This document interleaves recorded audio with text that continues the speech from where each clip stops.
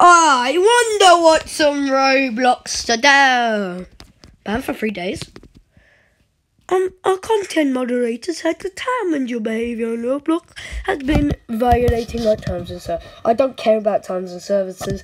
You terminate your account if you don't abide by the rules. View for April Fools. April Fools! Yeah, great. Reason inappropriate.